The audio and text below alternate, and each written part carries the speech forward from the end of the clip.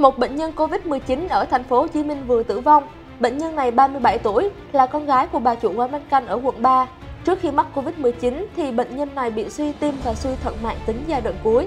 Theo thông tin từ bệnh viện Bệnh nhiệt đới thành phố Hồ Chí Minh thì người vừa tử vong là bệnh nhân số 5463, là con gái của bà chủ quán bánh canh O Thanh, nằm trên hẻm 287 Nguyễn Đình Chiểu, quận 3. Đây là trường hợp đầu tiên mắc Covid-19 ở thành phố Hồ Chí Minh tử vong kể từ khi dịch bùng phát cho đến nay. Trước khi phát hiện dương tính với SARS-CoV-2, bệnh nhân này có cơ địa tăng huyết áp, suy tim, suy thận mạng tính giai đoạn cuối, đã lọc màng bụng 6 năm nay. Người phụ nữ này bị viêm phổi nặng do Covid-19, diễn biến hô hấp ngày càng xấu, sốc nhiễm trùng kém đáp ứng bệnh mặt liều cao và tử vong vào sáng hôm nay. Các bác sĩ chuẩn đoán nguyên nhân tử vong là Covid-19 nặng kèm sốc nhiễm trùng, suy tim trên cơ địa tăng huyết áp, suy thận mạng tính giai đoạn cuối. Theo giám đốc bệnh viện Bệnh nhiệt đới thành phố Hồ Chí Minh thì kết quả nghiên cứu cho thấy bệnh nhân này liên quan đến ổ dịch ở quận 3 nhiễm biến chủng manh. Như vậy, kể từ khi dịch bùng phát cho đến nay thì nước ta đã ghi nhận 49 người mắc Covid-19 tử vong. Đa số bệnh nhân đều cao tuổi, có nhiều bệnh lý nền nặng. Tuy nhiên, ở làn sóng dịch lần thứ tư này thì các bác sĩ cho biết số lượng bệnh nhân diễn biến nặng tăng nhanh và nhiều người trong số đó còn rất trẻ. Nam sinh 22 tuổi ở Long An hiện đang trong tình trạng nguy kịch. Ngoài nam sinh này ra thì trong nhà còn có anh trai và người cha mắc Covid-19. Hiện hai anh em đều bị viêm phổi nặng, phải thở máy, lọc máu và chạy ECMO.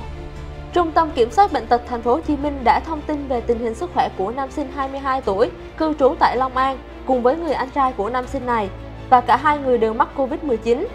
Theo đó, nam sinh này sinh năm 1999, ngụ tại xã Phước Vân, huyện Cần Đước, tỉnh Long An, là sinh viên năm cuối của một trường đại học ở thành phố Hồ Chí Minh. Bệnh nhân này được bệnh viện Đa khoa tỉnh Long An chuyển đến bệnh viện Bệnh nhiệt đới thành phố Hồ Chí Minh lúc 4 giờ sáng ngày 1 tháng 6 trong tình trạng sốc, suy hô hấp và các bác sĩ phải đặt nội khí quản thở máy, hồi sức tích cực.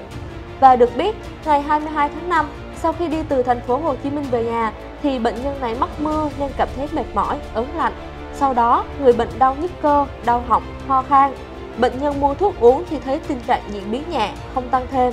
Đến ngày 31 tháng 5, sau 8 ngày có triệu chứng bệnh, thì bệnh nhân này khó thở tăng dần và được người nhà đưa đến khám tại Trung tâm Y tế huyện Bến Lức. Và tại đây thì khám sàng lọc và được nghi ngờ nhiễm SARS-CoV-2. Hiện tại, bệnh nhân có phổi tổn thương rất nặng với hội chứng suy hô hấp cấp, tổn thương gan nặng, đang được thở máy, lọc máu và chạy ECMO.